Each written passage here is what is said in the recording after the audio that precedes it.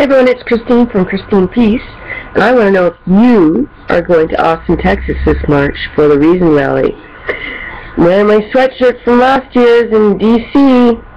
It was a blast, so if you have the means and the time, make sure you make it to this year's meetup. Let me know below. And uh, if you're from Texas or the Austin area, what kind of weather shall I expect in March? Thanks for uh, watching. Cheers.